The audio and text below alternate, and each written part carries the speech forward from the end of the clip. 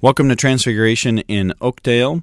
Transfiguration exists to lead all those in the East Metro to Christ, the source and summit of our daily and eternal lives. We are switching up the podcast a little bit today. I'm going to give a reflection on Psalm 23. And I know you've probably heard it before, but I want to I want us to journey through this together and and because we're in the middle of Lent and Lent is a time for prayer, fasting, and almsgiving. I hope that you can make this some of your prayer in the next couple weeks or leading up to Easter, or maybe even maybe like some type of goal for Easter is to make this psalm real and alive in your lives. One of the you know one of the reasons we're doing is because well for practical reasons the priests are fairly busy and you know how the saying goes necessity is the mother of invention. So I thought I, I've thought of this for a little while, but I hadn't hadn't pulled the trigger to make it happen. So what I want to do today is walk through the 23rd Psalm, and this is probably the most familiar psalm we've ever heard, and many of you probably have it memorized, and and sometimes that's sometimes that's to its detriment. It's you know wildly popular because of its power, but also it's wildly popular, so sometimes it loses its power. And I was a little bit inspired by Matthew Kelly. He tells a story of a dinner party, a very, very fancy dinner party. And at this dinner party is one of the most famous actors in the world. And he's taking requests and he he does you know some of Shakespeare and he does some of all these other fancy plays, and I'm not going to try to name any and sound ignorant. And at the end, there's a there's a priest at this dinner party, and the priest requests him to recite the 23rd Psalm, and he does it. And he and he well, for first he says, as long as you will do it after I do it. And the priest is kind of sheepish and says, Okay, fine. I really want to hear you do it, though. And he does it, and everyone is incredibly impressed, and it's very dramatical and, and beautiful. And then he asks for the priest to do it. There's an older priest, and, and he starts. He starts off The Lord is my shepherd. There is nothing that I shall want and he goes through the entire psalm and people instead of moved to clapping and applauding like they were when the actor did it people are moved to tears. And the actor in a you know maybe in a sense of wisdom says to the people the difference between those two is I know the psalm, and this man knows the shepherd. And I want us to take some time during Lent. I think it's a good thing to do. Is to ask ourselves if we know this shepherd from this psalm. And so we're going to go through it verse by verse. I'll offer a little bit of reflection and maybe even some type of examination of conscience for us. And I invite you to just listen along and and take these things to prayer in the next month and the next years or whatever. This psalm has become a wildly popular and not so powerful psalm in my past, and actually because of that because of that story by Matthew Kelly, it's become one of my favorite. And and also we want to do this because the Psalms are the the life of the church. Every priest and deacon and bishop says these Psalms every single day. And they are, you know, in some ways the the lifeblood of the priesthood and the people, and the people are asked to do these psalms as well. But as you can imagine, saying them every single day, it's very difficult to be able to reflect on them and to really take them to heart. And I think it would behoove us to slow down a little bit and every once in a while ask, like that, can I be like that priest and say these things, say these psalms as the psalmist wrote them? Are they really true for me today? Is the Lord really my shepherd? So let us begin. In the name of the Father, and the Son, and of the Holy Spirit. Amen. The Lord is my shepherd. There is nothing I lack.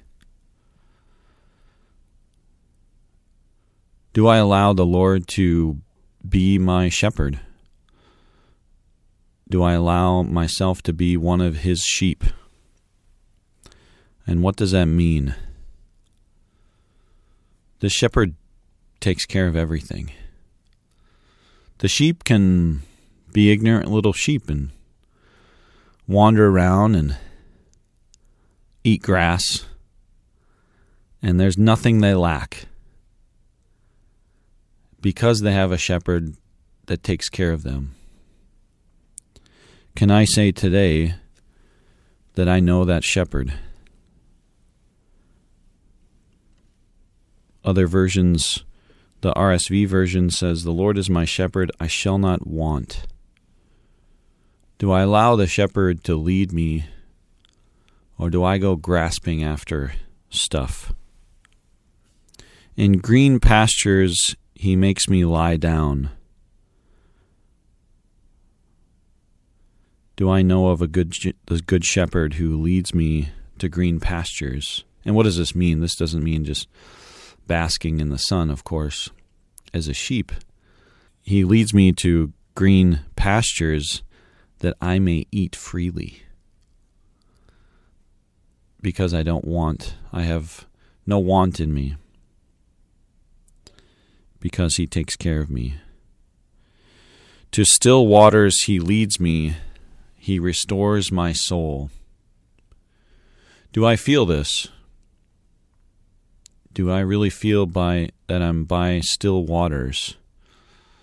And I can just imagine being by the ocean or a beautiful lake and just hearing the water, you know, crest over the shore, the shoreline, and feeling the ease and comfort and the relaxation of that place.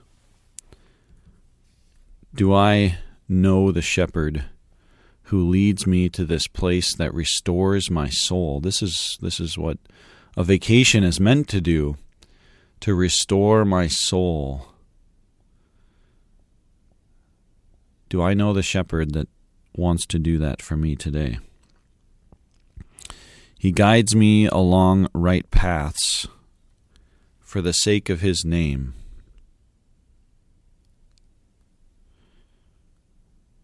Do I allow the Lord to lead me and guide me? Or do I ask Him to be with me on my path, my way, in my name?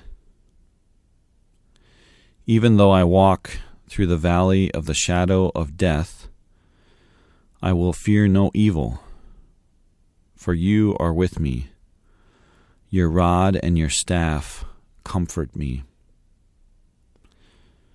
When I walk through the valley of suffering, of tragedy, of death, do I fear? Or do I allow the shepherd to walk me through it? it says an interesting phrase here for your rod and your staff comfort me. The rod and the staff uh, for the for the sheep is meant to put around their neck and kind of maneuver them back to safety. So that the sheep can just be a sheep and be free to roam about the green pastures do I allow the Lord to use his rod and staff? Are they comforting? Or are they, are they abrasive because I'm fighting it? You set a table before me in front of my enemies.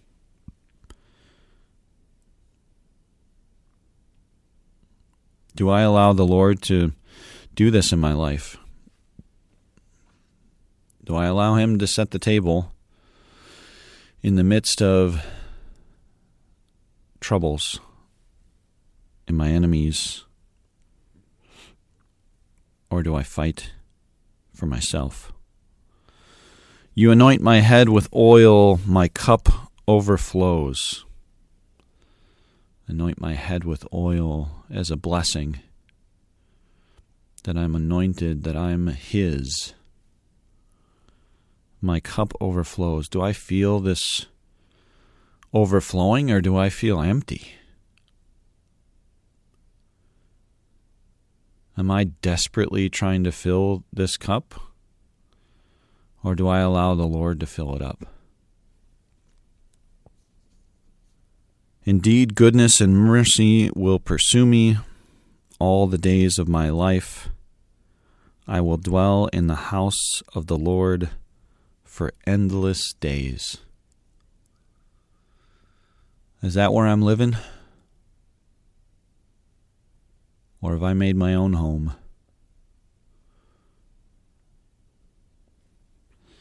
I want to read reread through it just one more time, fairly slowly. And I I want you to try to use your imagination a little bit and think about the Lord really doing these things for me. And if I don't feel them immediately or perceive them, I do invite you to ask the Lord later, perhaps, to give you that security. Sometimes we need to abandon some stuff. Sometimes we really do need to abandon some stuff in order to be a sheep. We got to give up our pride sometimes. Uh, I'm pretty sure sheep aren't super prideful animals. Do I allow the Lord to be my shepherd? And there's also some people listening that don't feel like the shepherd cares, that I feel abandoned. I want to be under his wings and I want him to take care of me. I just don't feel it. I feel like I got to do it all, all on my own because no one else is taking care of me. And I ask you to reflect on that now and maybe in the next couple weeks and take this to prayer and maybe even just take this psalm to prayer and ask and ask to have that and ask to have the Lord be your shepherd. Lord, be my shepherd, please. I love a, a very simple prayer that Father Jeff taught me a long time ago, and it's kind of a act of humility and a petition all in one. It's very simple. It's just goes like this Lord, I can't, you can, please do. Lord, I can't do this on my own. I know you can, and I'm asking you to do it. I'm asking you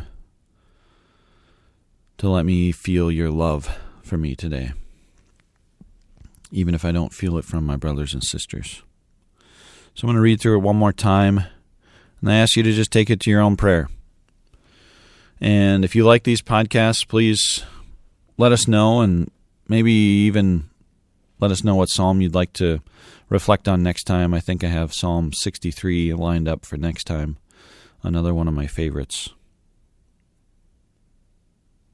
So read through it one more time and and I'll just leave you with some silence and allow you to maybe turn off the radio or whatever else you're listening and and take five minutes. Just take five minutes and and ask the Lord, or maybe even repeat the last minute or so and just listen to it again. And ask ourselves, do I do I really know the shepherd? Like that priest. can I say it with a little quivering in my voice, maybe even? That I know how much I'm loved. The Lord is my shepherd. There is nothing I lack. In green pastures he leads me to lie down. To still waters he leads me. He restores my soul. He guides me along right paths for the sake of his name. Even though I walk through the valley of the shadow of death, I will fear no evil, for you are with me. Your rod and your staff comfort me. You set a table before me in front of my enemies. You anoint my head with oil. My cup overflows.